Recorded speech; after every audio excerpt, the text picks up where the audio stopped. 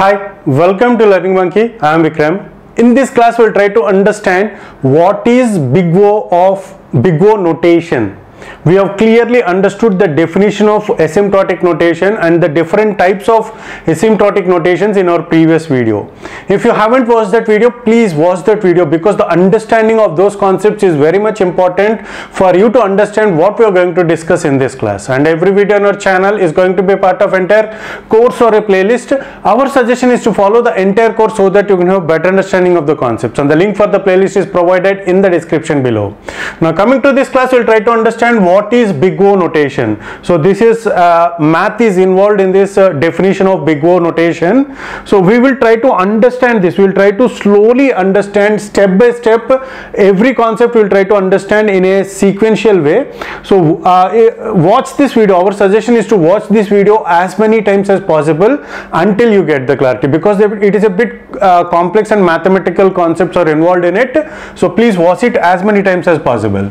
So the definition that the function f of n is equal to big O of g of n. When can if, if we have a function that function is so here is it is not equals. In this case of definition it is is.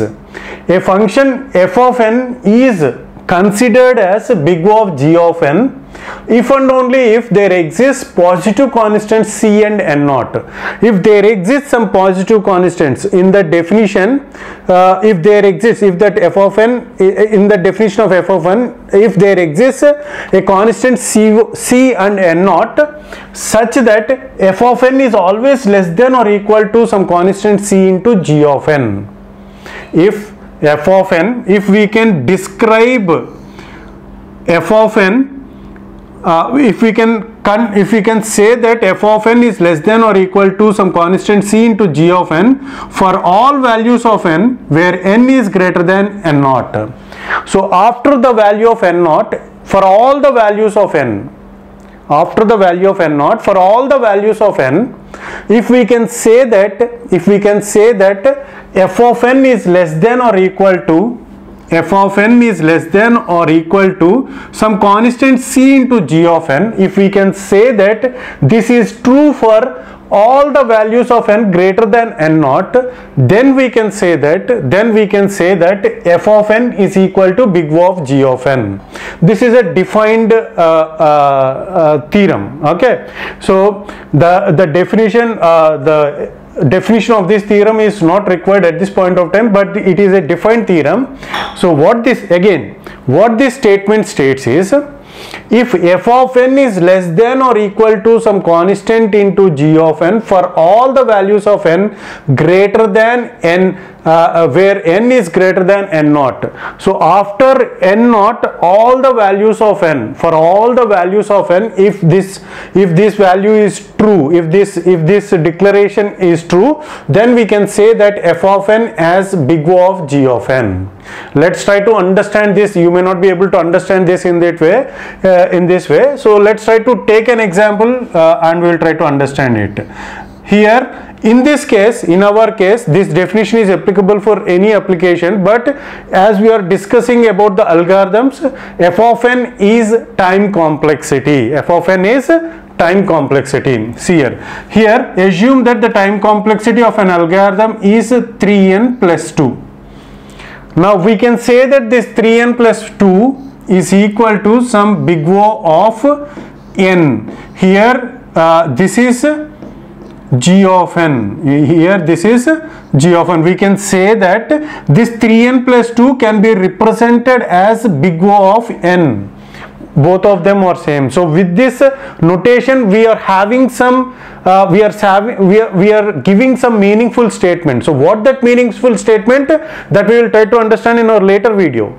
At this point of time we will try to understand the definition of we are trying to understand the definition of big O so when can we say that 3n plus 2 is, is big O of n? When can we say that? When can we say that is if, if 3n plus 2, if 3n plus 2 is less than or equal to some constant c into g of n. So here we are considering this as 4n. Why, why I have considered this 4n that also will get the clarity. If this value is true for all the values of n greater than n naught all, the values of n greater than n naught. So how to find this n naught? So after that n naught this should be true for all the values of n okay let's try to understand this. How to find this n is let's substitute this here in the place of n we'll start from 0 okay 0 means it is 3 plus 2 3 sorry 2 2 less than or equal to 0 is it true? No it is not true now again substitute the value of take the value of this is for n is equal to 0 and next substitute the value of n is equal to 1 if we substitute 1 it is 3 plus 2 3 plus 2 is 5 and 4 into 1 is 4 is it less than or equal to less than 5 less than or equal to 4 here it is also false and here also it is false.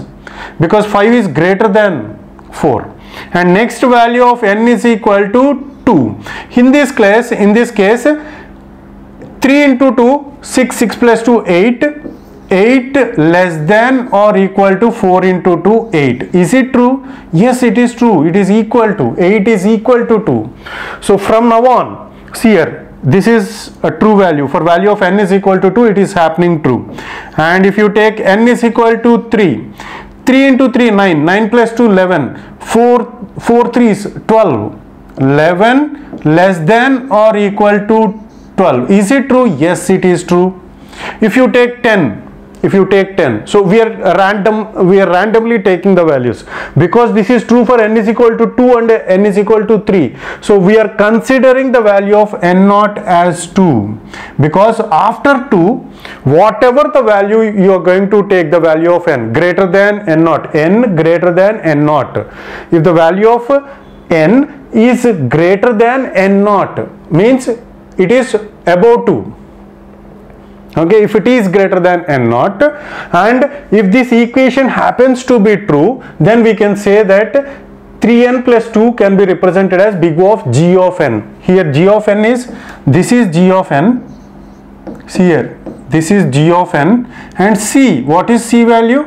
It is constant see here. C is 4 and this n is g of n. Then we can say that this 3n plus 2 is equal to big O of n. We can say it uh, we can say it. Let's take the value of n is equal to 2 we are going to find that whether this value whether this equation is going to be true for all the values of n greater than n naught. We are just verifying it.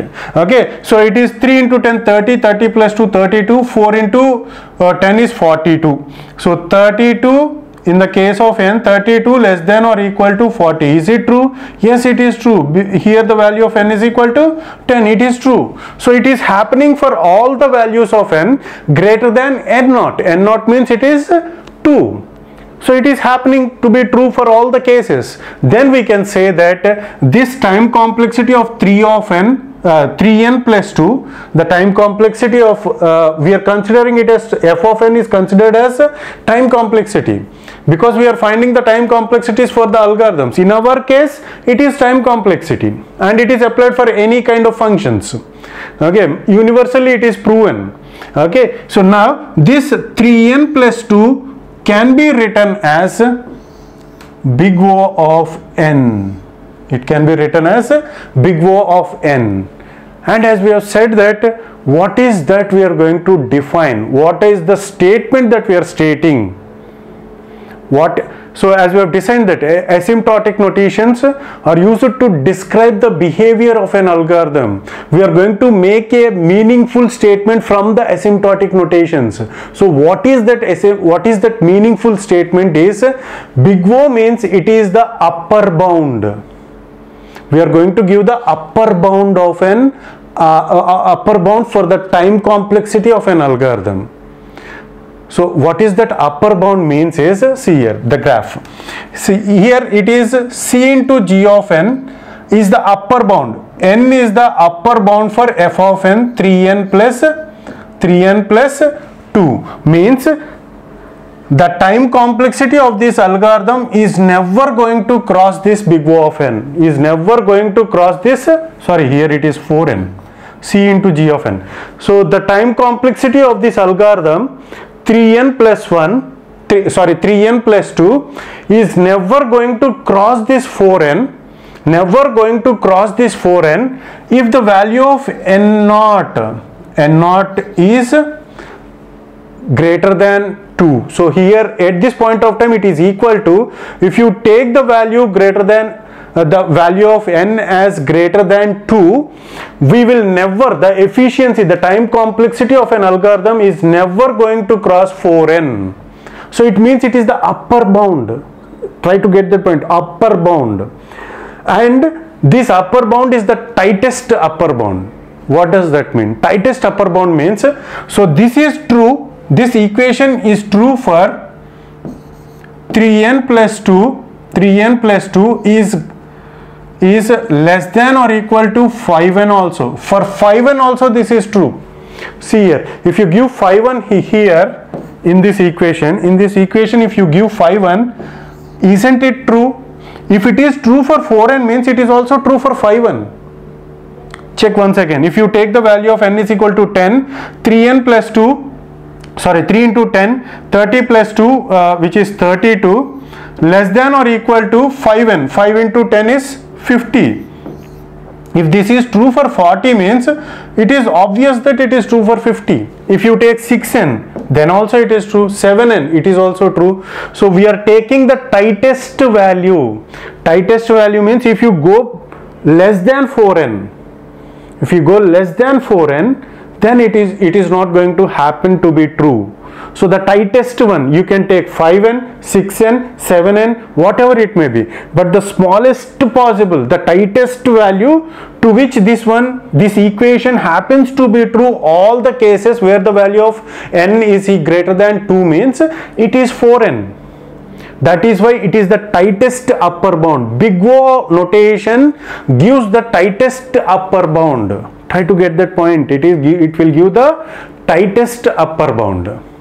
So uh, based upon the algorithms so we'll try to understand the same concepts how the uh, big o notation can be in what way the big o notations can be uh, used for algorithms. That we will try to understand. In the next class you are going to get the complete idea on the big o notation. At this point of time you have to get the mathematical idea. It is the tightest bond tightest upper bound upper bound. So try to get that point. Okay? So whenever we can prove that this this happens to be true for the certain value of n greater than n naught then we can say that f of n can be represented as big o of g of n okay? So this is all about uh, big o notation. Hope you got the clarity on this concept. Thanks for watching. If you haven't subscribed to our channel please subscribe to our channel and press bell icon for the latest updates. And if you have any doubts regarding this concept please post your doubt in the comment section below. And if you feel that this video is helpful to you please give us a like symbol and please share this video with your friends so that they will also get benefited. Thanks for watching